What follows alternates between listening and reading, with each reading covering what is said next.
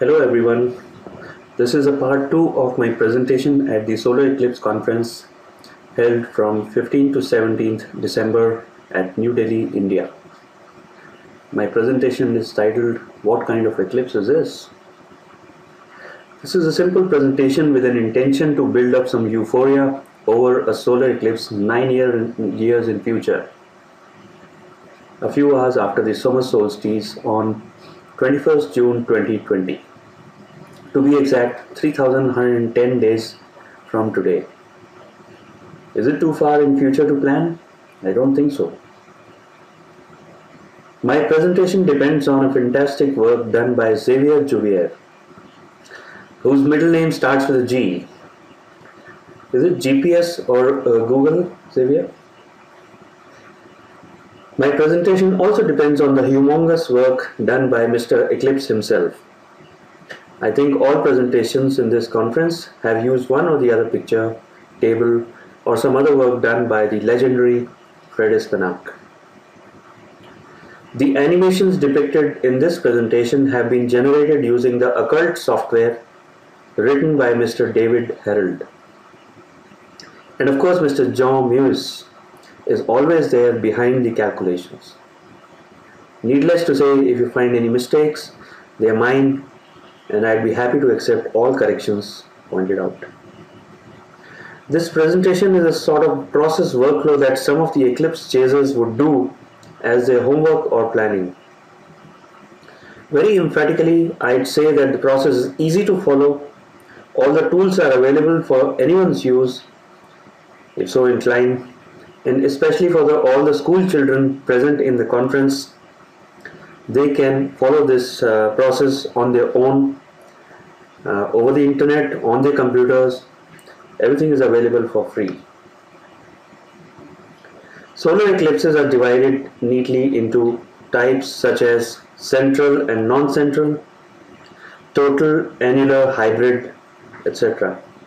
Here are some definitions.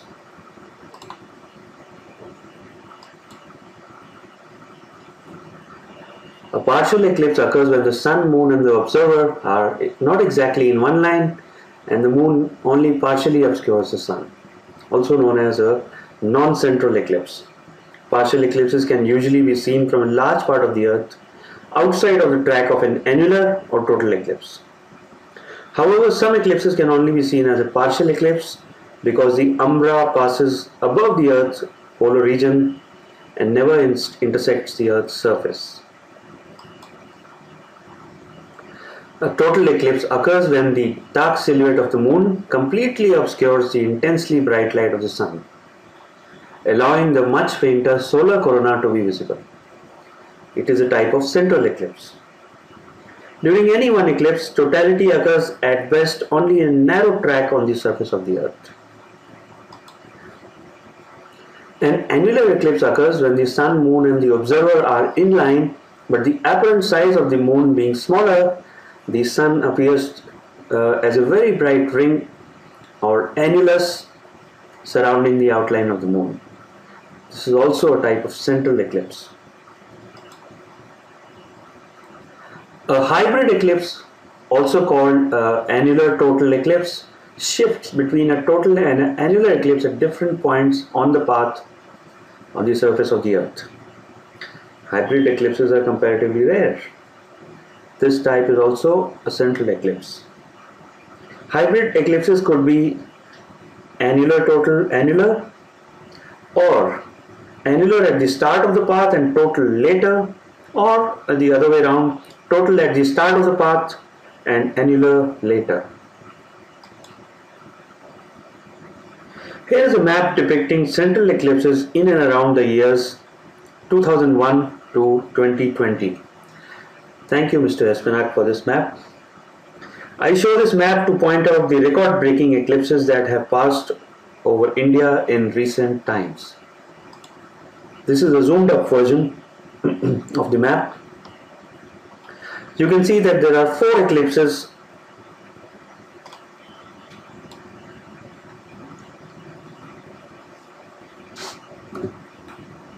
crossing over India. The first one is uh, the blue line the total solar eclipse of 22nd July 2009. The next one is a red annular of 15th January 2010. The next one is on 26 December 2019 which uh, interestingly crosses over India at a path uh, which is called Adams Bridge or uh, Ram Setu, uh, a sort of bridge, natural bridge connecting India and Sri Lanka. A lot of people went to Dhanushkodi for the eclipse of 15 January 2010 and they have the opportunity in 2019 to be at the same place to witness another eclipse. Finally, of course, we have the thin line, red line of an annular, which is going to occur on 21st June 2020, the topic of this presentation.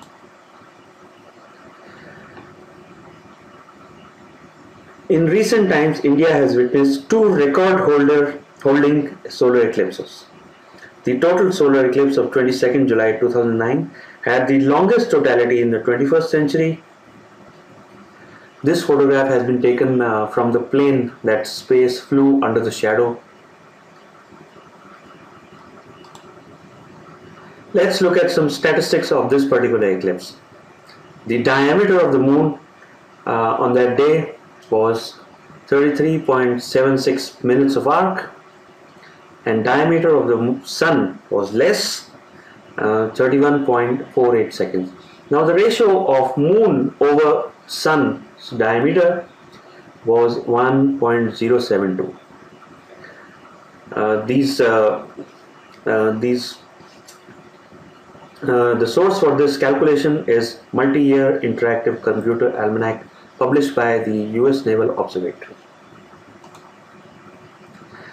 Then the second record-breaking eclipse that happened over India was the annular solar eclipse of 15 January 2010 this was the longest annular in the third millennium, in a thousand years. The uh, eclipse was also termed as a glorified partial eclipse because the diameter of the moon was so much less than the sun being 29.63 minutes and the diameter of the sun being 32.52 minutes of arc and the ratio becoming ratio of moon's diameter over sun's diameter becoming 0.911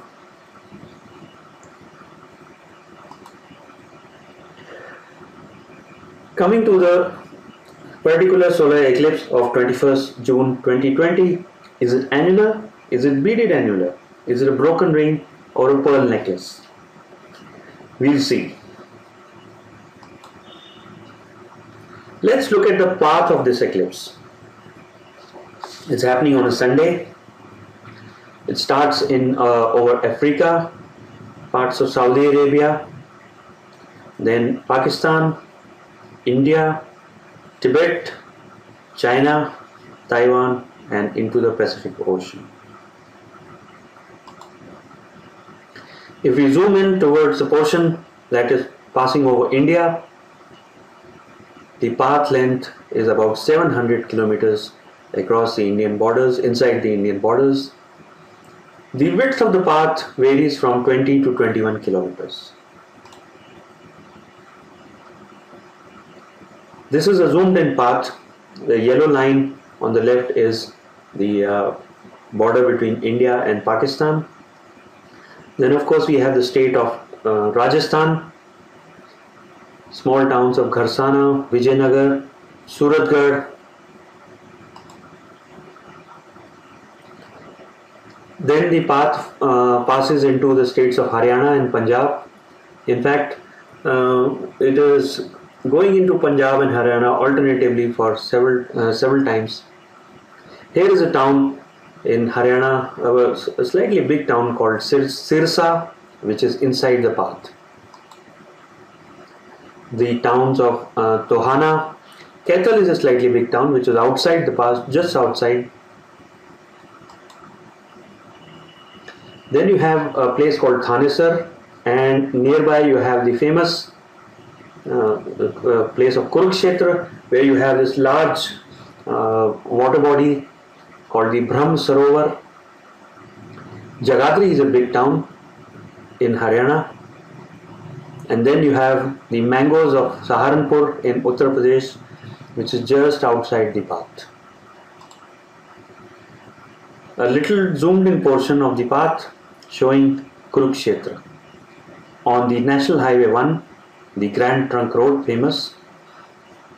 Here, at every eclipse, millions of people gather to take part in the uh, water body that is present at Kurukshetra after the eclipse.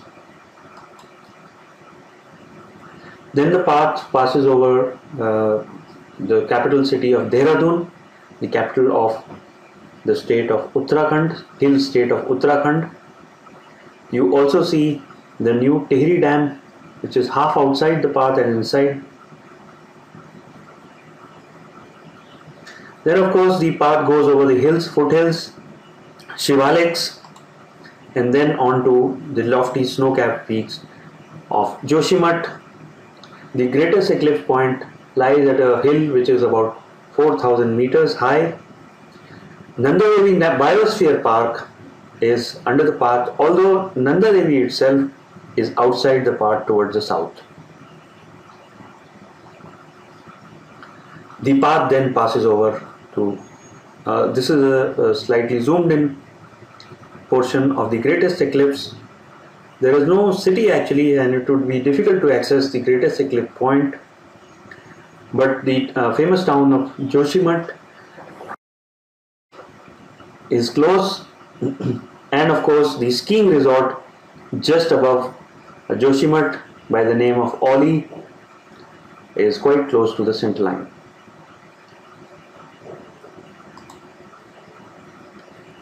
let us take a look at the movie uh, which is spanning the path which is uh, going along with the path starting from the desert of Rajasthan then onto the green areas of Rajasthan oh sorry Punjab and Haryana foothills of Uttarakhand and the lofty peaks snow-capped peaks just over the border near Tibet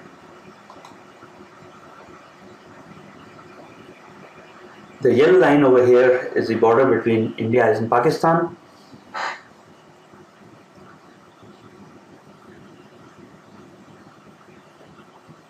Then you have a border town of Anupgarh, Vijayanagar. I will take Suratgarh as an example for my animations which are coming next. You have Ellenabad in Haryana, Sirsa, a slightly large town in Haryana. Then the path goes through uh, Punjab and back to Haryana. This grey line is actually the border. The small city of a uh, small town of Tohana. Kaithal is outside the path.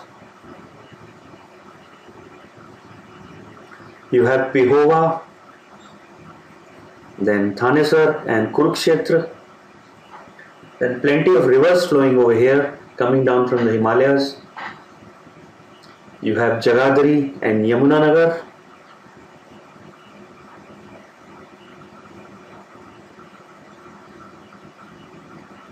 A town called Behat and Mohand just in the hills, Shivaliks. Then the capital city of Dehradun the Himalayas begin with Mohanchatti, a peak. Then on the left you can see the New Tehri Dam. Rudraprayag, the confluence of uh, Ganga, is on the right.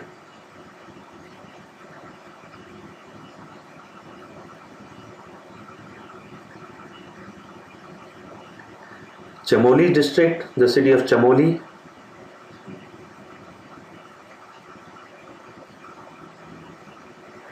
The greatest uh, eclipse point is approaching just above Joshimath which can be seen on the lower left in the valley down below.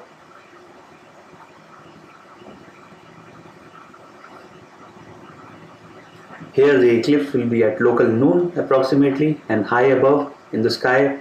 Then of course this is the Nanda Devi Biosphere Park, a uh, international heritage site as designated by UNESCO. Then beyond the lofty snowy heights, you have the path going into Tibet and China.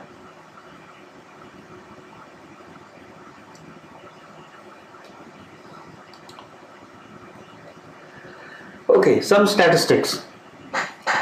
The solar eclipse, uh, what kind we have to decide here. The diameter of the moon is 31.05 seconds uh, minutes. Diameter of the sun is 31.47 minutes. The ratio approaches 1, 0.987. In fact, if you rise uh, very high in the Himalayan mountains near Nanda Devi, the ratio would approach 1 even more. So we see that the the uh, size of the sun and the moon are almost equal. Now sun as we know is quite spherical and steady. But what about the moon? The moon has got many mountains and valleys along the limb and it presents different limbs at different times of the month. So let me show you a photograph taken by me, a very high resolution photograph taken by me of the moon. This photograph was taken using a 12 inch telescope in 24 parts and the parts were stitched together. The notable thing to notice is on the edge you can see many mountains and valleys. In fact the highest mountain you will see when the animation stops at the end near the crater Tycho.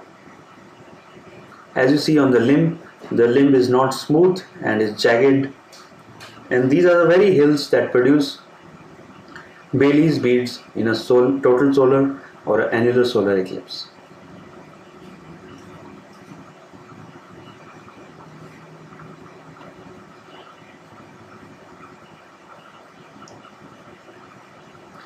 Just below this uh, is a crater Tycho and you can see many hills over there which are quite high.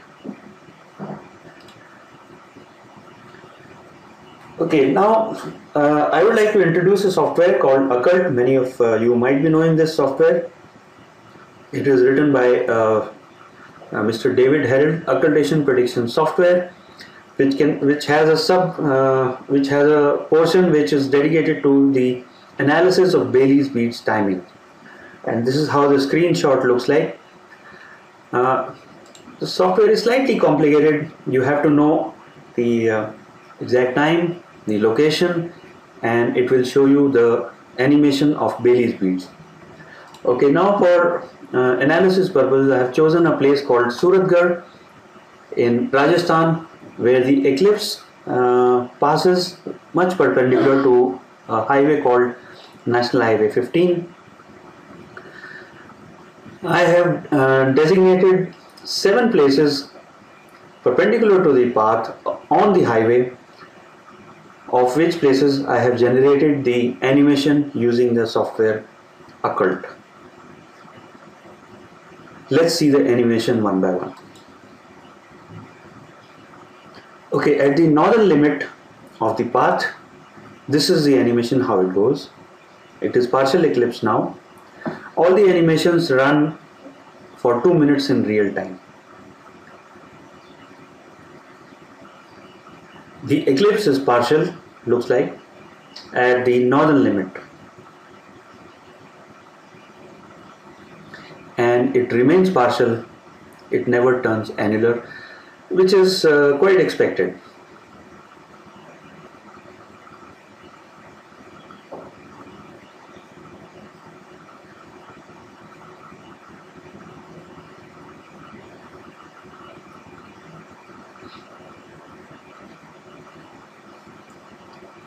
Next we have the animation from the southern point of the path near Suratgarh. Let us see what happens over here. The eclipse is starting as a partial. We have some Baily's beads. But the eclipse never becomes annular. On the top portion of the um, uh, sun and the moon, you always have some portion uh, which is being cut by the mountains on the moon. So as expected over here also at the southern limit the eclipse is partial.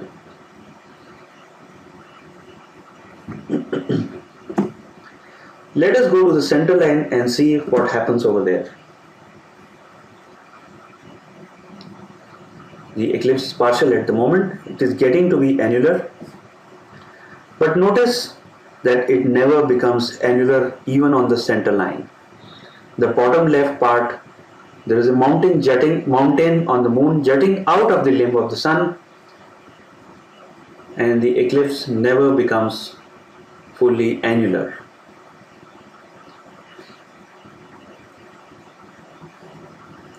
Let us go uh, to the next point in our consideration. This is the uh, one third of the path from the northern edge, the point which I have uh, denoted as N1.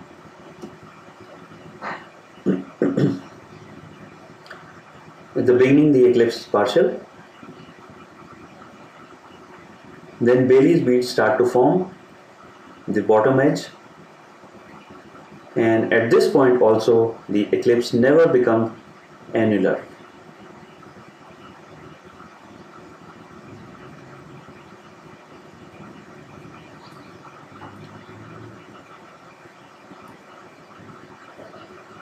let's go to the point uh, denoted as N2 which is towards the center line but on the northern side of the path one third of the way from center line towards north and we will see that the eclipse over here also is not annular.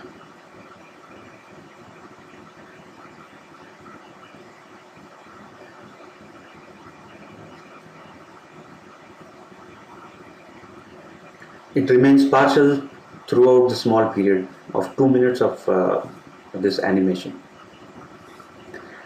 Let us go to the southern side now, a point called S2 which is close to the center line but on the southern side one third of the way from center line to the southern limit.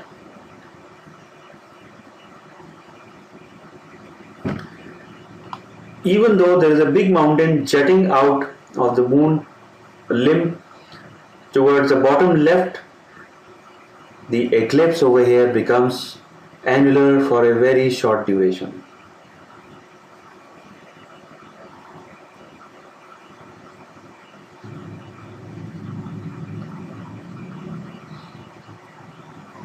Let us go to the last point now, which is denoted at S1, which is uh, close to the southern limit near the city of Suratgarh, which we have selected.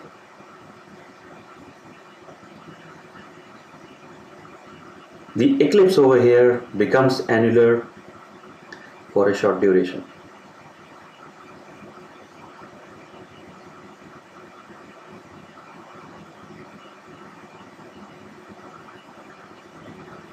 So we see that the eclipse is annular only in the southern part of the path in this very narrow annular eclipse in temporal path. So what kind of eclipse is this? I classify the solar eclipse as